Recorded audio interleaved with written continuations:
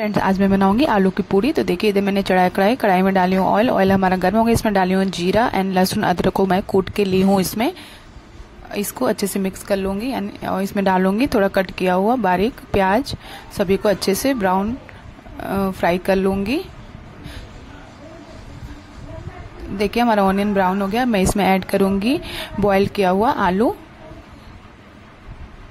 और सब इसमें डालूँगी हल्दी पाउडर मिर्च पाउडर एंड धनिया पाउडर, नमक और सभी को अच्छे से मिक्स कर लूँगी।